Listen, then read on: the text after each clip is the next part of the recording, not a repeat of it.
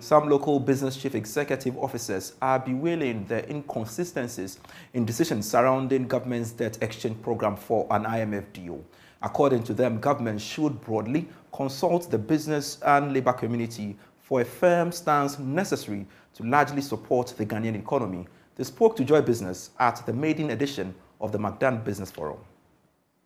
The problem I have with all these is that the government should come out one time after he's done his uh, uh, research with committees and everything and say, this is the way we're going, not change your position from one day to the other. Because pensioners complain, okay, this one is not part of it. Because this one, we are looking at it and so why? Get grace with the full facts and come out and then explain to the people one time, this is why we're doing it. And if you have to even withdraw, come back and say that we had to change because we've realized that so and so, and apologize for it. Because you can't just throw any information to the people.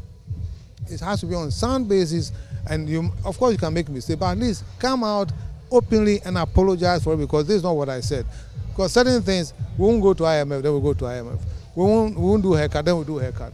Really, that's not the way to respect Ghanaians. All know what happened at the beginning of the year. Our debts went up. Um, revenue didn't come as much as they thought. Uh, new uh, new taxes that they thought they could roll out didn't happen, and therefore, and then we were kicked out of the international market.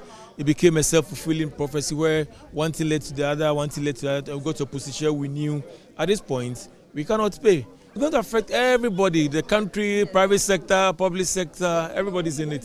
Um, it has many implications. There's liquidity problems. Banks are worried that we may not have liquidity because most banks, if we really, really, really implement it the way they've said, uh, we, we won't have liquidity.